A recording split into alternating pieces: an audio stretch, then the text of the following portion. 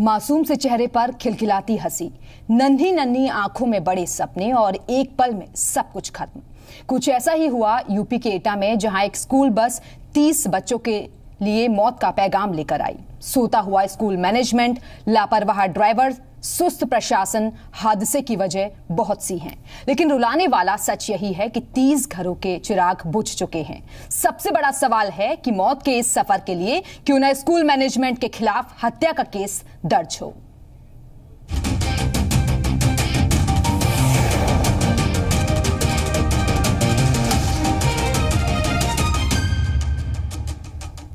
घर से स्कूल के लिए निकले थे, सबक सीखने के लिए निकले थे।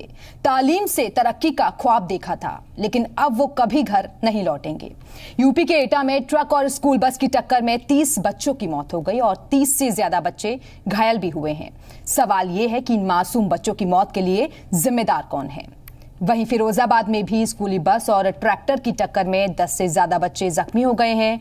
हादसा जसराना इलाके के कटोरी गाँव के पास हुआ। कल यूपी के संभल में एक ट्रक ने स्कूली बच्चों के टेंपो को टक्कर मार दी थी। हादसे में तेरह बच्चे बुरी तरीके से जख्मी हो गए थे।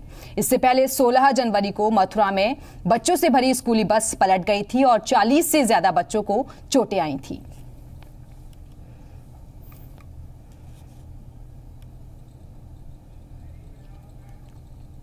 यूपी के एटा में हुए दर्दनाक हादसे में बच्चों की मौत की तादाद बढ़कर 30 हो गई है और मरने वालों की तादाद और बढ़ सकती है। 30 से ज़्यादा बच्चे घायल हुए हैं और अलीगंज एटा रोड पर आज सुबह यह हादसा हुआ। डीएमएसपी समेत आला अधिकारी मौके पर मौजूद हैं और रेत से भरे एक ट्रक ने स्कूली बस को टक्कर मार दी। कोहरे के चलते ये हादसा हुआ। बस जेएस विद्या निकेतन स्कूल की थी और बस में 50 से ज़्यादा बच्चे सवार थे। ठंड के चलते जिला प्रशासन ने स्कूलों में 21 जनवरी तक छुट्टी का आदेश दिया था। बावजूद इसके, स्कूल खुला हुआ था। हादसे के बाद डीएम ने स्कूल की मान्यता रद्द करने के आदेश दे दिए हैं। साथ ही डीएम ने जेएस विद्या निकेतन स्कूल के मैनेजर के खिलाफ एफआईआर दर्ज करने के आदेश दिए हैं। पीएम मोदी, गृह मंत्री राजनाथ सिंह, यूपी के सीएम अखिलेश यादव, राज्यपाल राम नायक कांग्रेस उपाध्यक्ष राहुल गांधी ने एटा में हुई स्कूल बच्चों की मौत पर दुख ज़ाहिर किया है।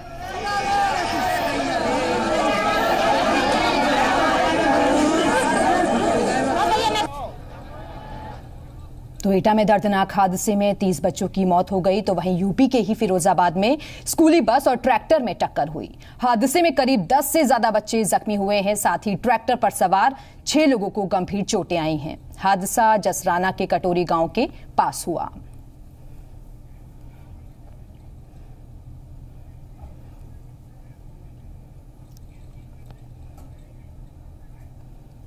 और इसी पर चर्चा करने के लिए हमारे साथ लखनऊ से पूर्व आईएएस, एसपी सिंह साहब जुड़े हुए हैं। बहुत बहुत स्वागत है आपका एसपी सिंह साहब और साथ ही साथ इंडिया ट्वेंटी फोर संवाददाता हमारे साथ जुड़े हुए हैं विवेक तिवारी। हम चर्चा को आगे बढ़ाएँगे, लेकिन सबसे पहले एक रिपोर्ट देखते हैं। घर नहीं लौटेगी। वो अपने पापा से चाँद तारे नहीं मांगेगी। माँ का लाडला भी कभी घर नहीं लौटेगा। माँ से न जिद करेगा, न उसका आंचल थामेगा। मुन्नी कैसे लौटेगी? मुन्ना कैसे घर आएगा? वो तो हमेशा के लिए उस दुनिया में चले गए, जहाँ से कभी कोई लौटा ही नहीं। यूपी के एटा में ज़िंदगी का सबक सीखने के लिए बच्चे घर से स्कूल के लिए निकले थे, लेकिन रास्ते में मौत मिल गई। एटा के असदपुर गाँव के पास रेत से भरे एक ट्रक ने स्कूली बस को टक्कर मार दी। बस में एलकेजी से लेकर सातवीं क्लास के बच्चे सवार थे। आमने सामने की मौत की इस टक्कर में कई घरों के चिराग हमेशा के लिए बुझ गए। दर्जनों बच्चे हादसे में घायल हुए हैं। घायलों में कई बच्चों की हालत गंभीर बनी हुई है। इलाज के लिए अलीगढ़ और आगरा रेफर किया गया है। देखिए, अभी तक हमारे पास जो कंफर्म्ड खबर आई है, वो पंद्रह की है। और अभी कुछ बच्चे सीरियसली घायल हैं, उनका इलाज चल रहा है। और अभी सीनियर अधिकारी लोग मौके पर हैं और रेस्क्यू वर्क अभी भी चल रहा है? यद्यपि सभी बच्चों को शिफ्ट कर दिया गया है अब गाड़ियों को सीधा करना, रोड्स को व्यवस्थित करना, ये कार्य चल रहा है। गलती किसकी? लापरवाही किसने बरती? हिसाब लगाते रहिए, जवाब मांगते रहिए। लेकिन मौत के इस टक्कर में जिनका सब कुछ लुट गया, घर के चिराग हमेशा के लिए बुझ गए, जिगर के टुकड़े जुदा हो गए, उनके पास तो रोने के सिवा कुछ नहीं बचा है। ट्रक के नीचे दबे अपने बच्चों के बेजान जिस्म देखकर माँ बाप पर क्या बीती होगी, उस दर्द को, उस मातम को बयान नहीं किया जा सकता। स्कूली बस जेएस विद्या निकेतन स्कूल की थी। बस में 50 से ज़्यादा बच्चे सवार थे।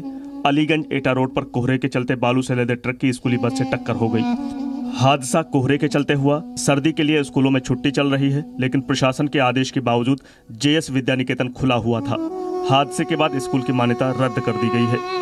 एटा में हुए दर्दनाक हादसे पर पीएम से लेकर सीएम तक ने दुख जताया है। प्रशासन एक्शन ले रहा है, सरकारी डंडा चल रहा है। लेकिन सवाल यह है कि क्यों बार बार ऐसे हादसे होने के बावजूद सबक नहीं लिया जाता? 24 घंटे पहले ही यूपी के संभल में एक ट्रक ने स्कूली बच्चों को ले जा रहे टेंपो को टक्कर मारी थी। तेरह बच्चे बुरी तरह जख्मी हुए थे। बीती 16 जनवरी को मथुरा में बच्चों से भरी स्कूल की बस पलट गई थी। 40 से ज़्यादा बच्चों को चोट लगी थी।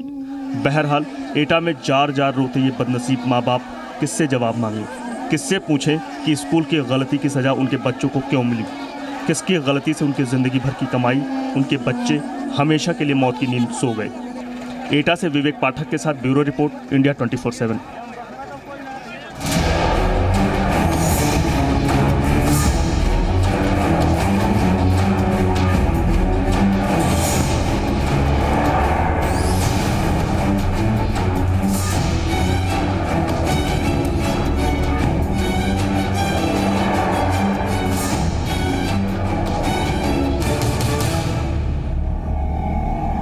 और इस दर्दनाक हादसे को लेकर तमाम सवाल खड़े हो रहे हैं। जब सर्दियों में स्कूल बंद करने का आदेश दिया गया था तो स्कूल क्यों खुला था? स्कूल मैनेजमेंट के खिलाफ हत्या का केस दर्ज क्यों ना हो? और स्कूल प्रिंसिपल और मैनेजर को तुरंत जेल क्यों ना भेजा जाए? स्कूल बस को लेकर तमाम नियमों की धज्जियाँ क्यों उड़ाई गई? और सवाल ये भी कि स्कूल बस के लिए अनुभवी ड्राइवर क्यों नहीं रखे गए?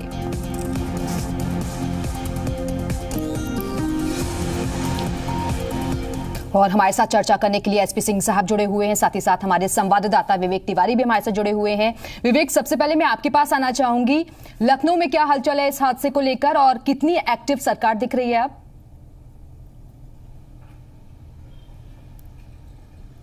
इस वक्त सरकार के हाथ में बहुत कुछ नहीं है। सरकार ने निर्देश दिए हैं, मुख्यमंत्री ने खुद डायरेक्शन दिया है, डीएम और कमिश्नर वहाँ पर पहुँचे और बच्चों की जो घायल हैं, उनकी पूरी मदद की जाए, अस्पतालों में उनका ठीक से इलाज किया जाए, किसी को बाहर अगर रेफ़र करना है तो वो इंतज़ाम किए जाएँ। दूसरी ओर राज्य बाल संरक्षण आयोग ने वहाँ के ज़िलाधिकारी से रिपोर्ट तलब की है, मान्यता रद्द करने के लिए कहा है और बाकी सारी कार्रवाइयाँ हो रही हैं। मुख्यमंत्री, गवर्नर दोनों ने दुख प्रकट किया है इस पूरी घटना पर। लेकिन सवाल इस बात का है कि ये जो कुछ हुआ, वो क्यों हुआ? उस, उसका पता कैसे चलेगा? देखिए, सबसे बड़ी बात यह है कि ये ठीक है, स्कूल बंद होने के आदेश थे और स्कूल खोल दिया गया था, लेकिन इससे भी बड़ी बात यह है कि जो स्कूली वैन को या गाड़ियों को बसेस को चलाने वाले ड्राइवर होते हैं, उनका क्या बैकग्राउंड है, उनका अनुभव क्या है, वो किस तरह से गाड़ियाँ चलाते हैं, किस तरह से स्कूली बच्चों को ठूस कर भरा जाता है और बेतरतीब गाड़ियाँ चलाई जाती हैं, उसका निदान कोई नहीं निकलता। लखनऊ में भी इस तरह के हादसे होते रहे हैं और हमने देखा है कि जो स्कूली वैन या कैब को चलाने वाले ड्राइवर होते हैं वो किसी की नहीं सुनते हैं। उनके भले चाहे जितने नियम कानून उनके ऊपर थोपे जाएँ जितने ही बंदिशें लगाई जाएँ लेकिन वो नहीं मानते हैं। तो इस चीज़ पर जब तक लगाम नहीं लगाई जाएगी जब तक अनुभवी और अच्छी ड्राइविंग करने वाले बच्चों को ले जाने वाले अच्छे ड्राइवर नहीं होंगे इस तरह के हादसे होते रहेंगे। बिल्कुल विवेक आप बने रहिए हमारे साथ में लौटूँगे आपके पास। एसपी सिंह साहब जिस तरीके से विवेक लगातार बता रहे हैं कि नियमों का पालन नहीं हो रहा है ये कहें कि जो गाइडलाइंस जारी की गई हैं स्कूल बस के लिए वो फॉलो नहीं कर रहे हैं स्कूल?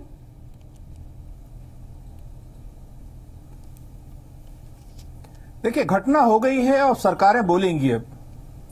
सरकार ये बोलेगी, ये दंड दिया जाएगा, हत्या का मुकदमा दर्ज होगा, ये सारी बातें होंगी। मुफ़्त इलाज कराया जाएगा, ये सरकार बोल देगी। अब बोलने के बाद बात खत्म हो जाएगी। प्रदेश के अंदर कितनी घटनाएँ ऐसी हुई हैं? उनको, उन पे क्या किया गया? ये नहीं देखेगी प्रदेश सरकार।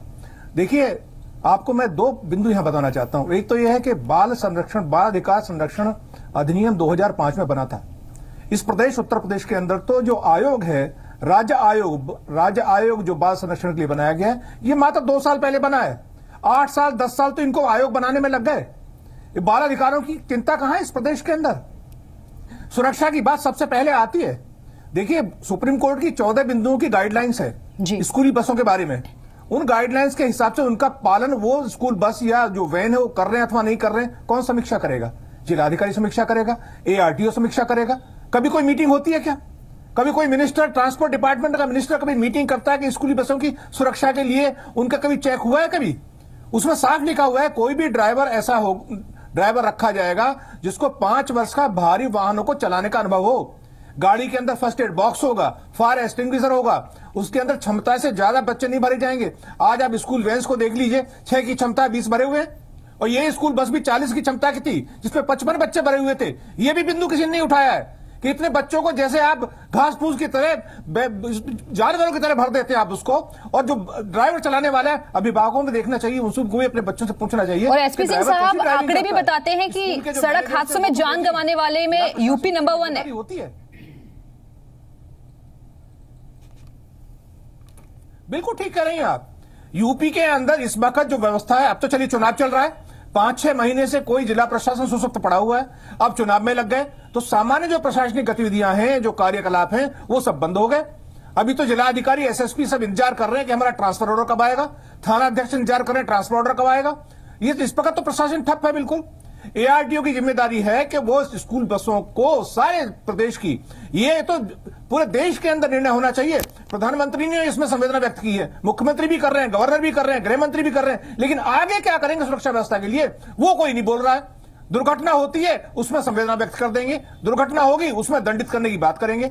लेकिन इस व्यवस्था में इन बच्चों की सुरक्षा के लिए स्कूल बसों को कैसे संचालन किया जाए? सुप्रीम कोर्ट की चौदह सूत्रीय जो गाइडलाइंस है, उनको कैसे अनुपालन कराया जाए? ये कौन देखेगा? ये राज्य सरकार करके दिखाए? ये निर्देश जारी करे सारे प्रदेश के अंदर? सारे एआरटीओ मीटिंग करें, सारे जिलाधिकारी मीटिंग करें? सारे मैनेजर्स की? सारे प्रिंसिपल्स की? जो स्कूल बसें चलाते हैं? और स्पेशली जो कॉन्ट्रैक्ट पे चलने वाली गाड़ियाँ हैं उनके लिए सुप्रीम कोर्ट ने बहुत सख्ती दिखाई है। एक कॉन्ट्रैक्ट पे चलने वाली गाड़ियों को उस पे कब तक का कॉन्ट्रैक्ट है प्रदूषण चेक हुआ अथवा नहीं हुआ है उसमें उसका नंबर स्कूल का जो रंग है वो पीले रंग का होगा। आगे पीछे दोनों तरफ़ स्कूल का नाम लिखा जाएगा स्कूल बस लिखा जाएगा उस पर और रुकने के लिए देखिए सारी दुनिया के अंदर देखिए स्कूल बसेस में यूरोप वगैरह में या अमेरिका में अगर स्कूल की बस जा रही है तो 200 मीटर दूर ही कोई व्यक्ति चलेगा उसके आगे पीछे। जी। इतनी सुरक्षा रखी जाती है। यहाँ तो कोई सुरक्षा का व्यवस्था ही नहीं है। यहाँ उसके बस के पीछे यह भी लिखा हुआ होना चाहिए कि 100 मीटर 100 मीटर की दूरी बना के रखेंगे या 100 फीट की दूरी बना के रखेंगे।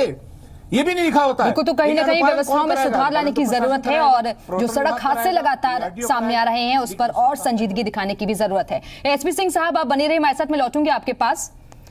तो यूपी बाल आयोग भी एटा सड़क हादसे को लेकर सक्रिय हो गया है और आयोग की चेयरमैन जूही सिंह ने सड़क हादसे पर एटा के डीएम से रिपोर्ट मांगी है। जिला प्रशासन से हमने ये रिपोर्ट मांगी है कि अगर उन्होंने स्कूलों को बंद करने का निर्देश दिया तो स्कूल बंद क्यों नहीं थे?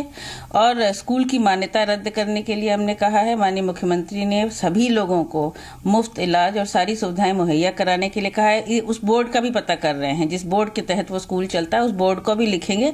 ऐसे स्कूलों को पूरी तरह से सजा देनी चाहिए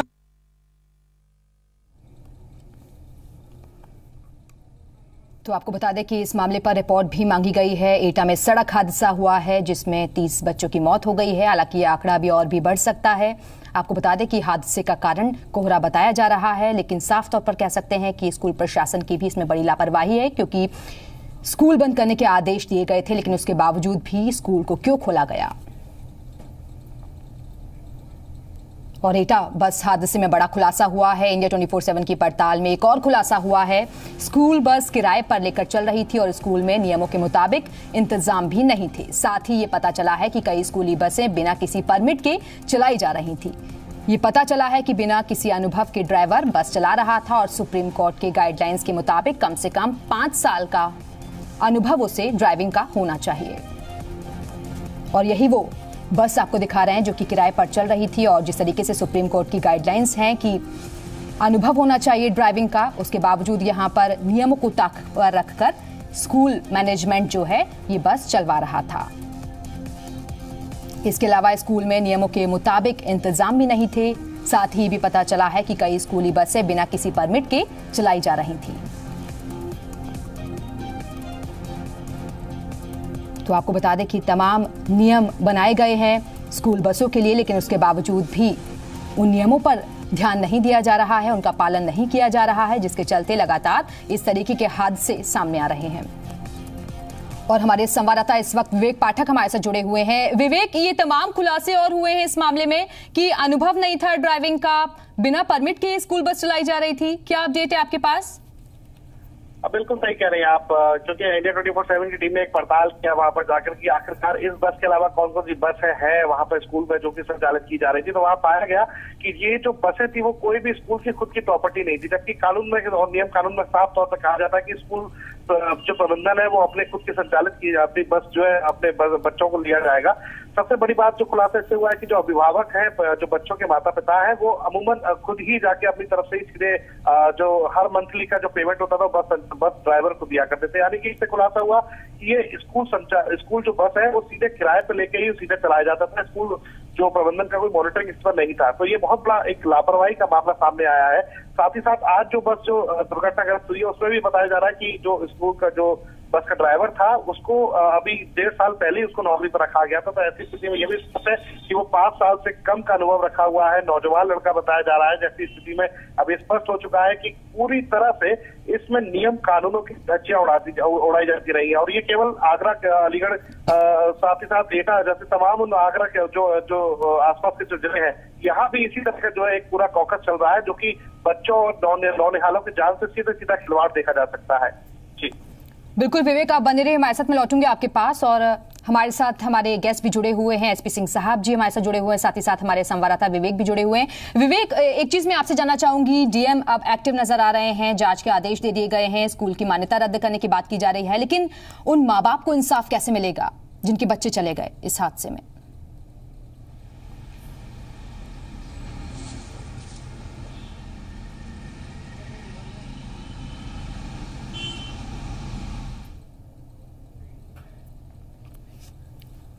चलिए लगता है, विवेक से हमारा संपर्क नहीं हो पा रहा है। तो आपको बता दें कि एटा में ये सड़क हादसा सामने आया है, जहाँ स्कूली बस हादसे का शिकार हो गई और ऐसे में अब स्कूल की मान्यता रद्द करने की बात सामने आ रही है। डीएम काफ़ी एक्टिव नज़र आ रहे हैं।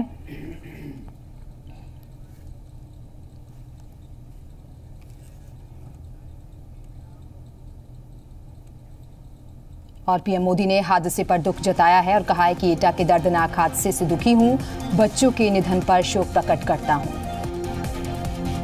उधर गृहमंत्री राजनाथ सिंह ने भी ट्वीट कर दुख जताया है और उन्होंने ट्वीट किया है कि मेरी संवेदनाएँ उन परिवारों के साथ हैं जिन्होंने हादसे में अपने बच्चे खोए हैं। घायलों की जल्द ठीक होने की प्रार्थना करता हूँ।